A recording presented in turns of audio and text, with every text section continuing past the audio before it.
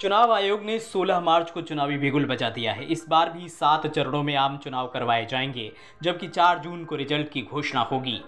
पहले फ़ेज़ की वोटिंग 19 अप्रैल, दूसरे फ़ेज़ की वोटिंग 26 अप्रैल 7 मई को तीसरा फ़ेज़ 13 मई को चौथा फ़ेज़ 20 मई को पाँचवा फ़ेज़ 25 मई को छठा फ़ेज़ और 1 जून को सातवें चरण के लिए वोटिंग होगी। दरअसल मुख्य चुनाव आयुक्त राजीव कुमार ने प्रेस कॉन्फ्रेंस को संबोधित करते हुए कहा कि चुनाव का पर्व देश का पर्व है। आगे उन्होंने बताया कि इस बार छियानबे दशमलव आठ करोड़ वोटर्स वोट डालने जा रहे हैं, यानी कि करीब सत्तानबे करोड़ लोग लोकसभा चुनाव में वोट डालेंगे। आगामी लोकसभा चुनाव में करीब एक दशमलव आठ करोड़ वोटर्स ऐसे हैं जो पहली बार किसी चुनाव में वोट डालने वाले हैं।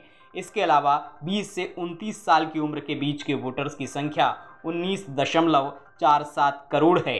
चुनाव आयोग ने बताया कि जिन उम्मीदवारों के आपराधिक रिकॉर्ड हैं, उन्हें तीन बार इसकी जानकारी देते हुए इश्तिहार देना होगा। कुल मतदाताओं में उनचास दशमलव सात करोड़ पुरुष, सैतालीस दशमलव एक करोड़ महिलाएँ, अड़तालीस हज़ार ट्रांसजेंडर शामिल हैं। चुनाव आयोग के आंकड़े के अनुसार देश भर में मतदाता लिंगानुपात 948 है।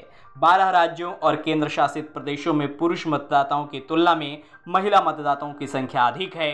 मुख्य चुनाव आयुक्त राजीव कुमार ने बताया कि हमारी मतदाता सूची में पचासी साल से अधिक उम्र के बयासी लाख और 100 साल से अधिक उम्र के दो दशमलव एक आठ लाख मतदाता शामिल हैं। चुनाव आयोग ने चुनाव के दौरान फेक न्यूज़ फैलाए जाने पर भी चिंता जताई है।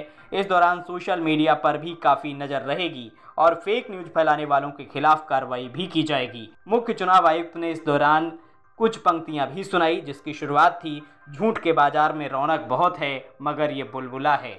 मुख्य चुनाव आयुक्त राजीव कुमार ने कहा कि हम देश को वास्तव में उत्सवपूर्ण, लोकतांत्रिक माहौल देने के लिए प्रतिबद्ध हैं।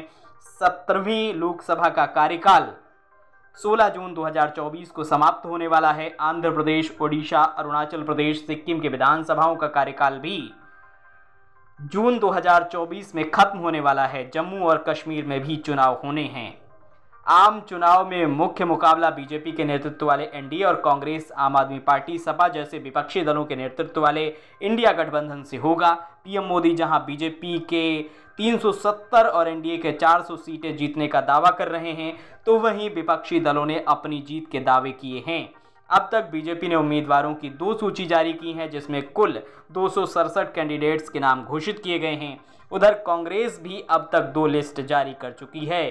पहली लिस्ट में उनतालीस और दूसरी लिस्ट में तैंतालीस उम्मीदवारों के नामों का ऐलान किया गया है। पिछला लोकसभा चुनाव साल 2019 में अप्रैल मई महीने में करवाया गया था। कुल सात चरणों में हुए मतदान के बाद 23 मई को वोटों की गिनती हुई थी। बीजेपी ने अकेले दम पर लगातार दूसरी बार बहुमत हासिल करते हुए 303 सीटें जीती थीं, जबकि कांग्रेस को बावन सीटों पर जीत मिली थी। Video desk Amar Ujala dot com. अगर आप ये वीडियो YouTube पर देख रहे हैं तो हमारे चैनल को सब्सक्राइब करें और बेल आइकन को दबाना ना भूलें। अगर आप Facebook पर यह वीडियो देख रहे हैं तो हमारे पेज को लाइक करें।